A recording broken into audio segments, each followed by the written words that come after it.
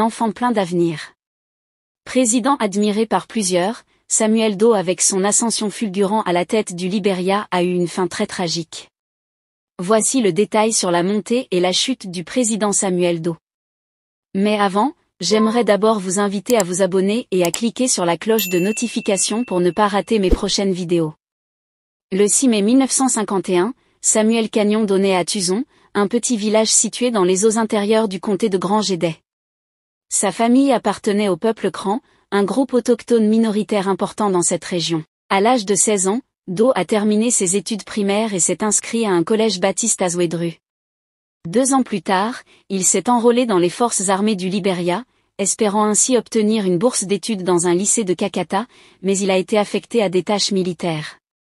Au cours des dix années suivantes, il a été affecté à divers lieux d'affectation, notamment dans une école militaire et à la tête d'un assortiment de garnisons et de prisons à Monrovia. Il a finalement terminé ses études secondaires par correspondance. Do fut promu au grade de sergent-chef le 11 octobre 1979 et fut nommé administrateur du 3e bataillon à Monrovia, poste qu'il occupa pendant 11 mois. Ancien sergent, formé par les bérets vers américains, il prend le pouvoir au Liberia par un coup d'État le 12 avril 1980. Il en devient président, et suspend la Constitution de 1847. Il met en place le People's Redemption Council, en gouvernement provisoire qu'il préside. Son prédécesseur William Tolbert est tué par ses hommes dans son lit. Doe fait ensuite exécuter 13 des membres du gouvernement Tolbert en public sur une plage. Un régime de terreur est institué, marqué par des exécutions sommaires. Issu de l'ethnie Kran, d'autant à favoriser son ethnie d'origine.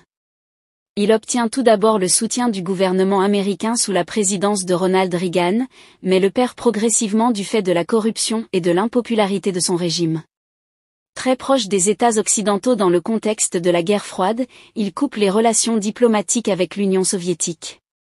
En 1984, le People's Redemption Council est remplacé par l'Assemblée nationale. Les élections d'octobre 1985, remportées par Do avec 51% des voix, mais considérées comme largement frauduleuses, accroissent l'impopularité du régime. Do a déclaré publiquement que s'il perdait les élections, il ne céderait pas le pouvoir et l'armée procéderait à un autre coup d'État en moins de deux semaines, une position qui a été durement critiquée par la communauté internationale et les partis politiques participant aux élections. En novembre de la même année, un ancien commandant militaire, le général Thomas Kiwonkpa, tente de renverser le pouvoir. Kiwonkpa, soutien de Do en 1980, avait été nommé en 1983 secrétaire du People's Redemption Council, en, mais il avait refusé le poste. Il avait été ensuite déchu de son commandement, sans doute à cause d'une tentative ratée de coup d'État, ce qui l'avait contraint à se réfugier aux États-Unis. Ses forces entrent au Libéria par la Côte d'Ivoire, les manœuvres visent à s'emparer de l'émetteur de la radio d'État Eloi et de la résidence du président. Si la radio est contrôlée rapidement par les rebelles, et que de nombreux membres du gouvernement, le ministre de la Défense, le vice-président élu, le ministre de l'Information, sont capturés, Do est bien protégé dans sa maison par sa garde personnelle et le premier bataillon de l'armée, commandé par son cousin.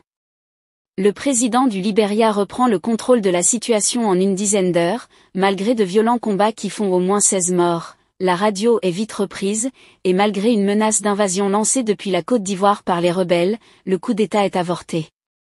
En 1990, le Liberia bascule dans la guerre civile. Prince Johnson, Front indépendant, et Charles Taylor, NPLF, sont à la tête de deux groupes rebelles. Les rebelles sont alors perçus comme des libérateurs, le régime de Do reposant sur la terreur et ses troupes commettant des crimes de masse. Do est capturé par les troupes de Johnson dans le bureau du chef de l'Ecomog, qui s'était déployé un mois avant. Il meurt sous la torture, les jambes mitraillées, les oreilles et les doigts coupés, il est exécuté d'une balle dans la tête. Son corps est ensuite exposé nu dans les rues de Monrovia. Une vidéo montrant la torture et la mort de Do, et dont les images choquent la communauté internationale, est diffusée pendant quelques années dans les pays d'Afrique de l'Ouest. Il est baptiste, membre de la First Baptist Church de Zouedru, puis de la Providence Baptist Church de Monrovia en 1985. En novembre 2000, lors d'une réunion au nom de la famille Do, son fils Samuel Do Jr. accompagné de la veuve du président, Nancy Do, a déclaré lors d'une conférence qu'il avait des sentiments de haine et de ressentiment contre une certaine personne, Des pensées de vengeance contre le meurtrier de son père depuis dix ans et qui avait l'intention de nettoyer ses péchés et ses sentiments de haine et de vengeance contre le bourreau de son père, les deux parties ont été réconciliées par le pasteur Tibi Joshua. Que pensez-vous du président Samuel Doe? Laissez votre avis en commentaire. Si ça vous a plu, n'hésitez pas à vous abonner et à cliquer sur la cloche de notification pour ne pas rater mes prochaines vidéos.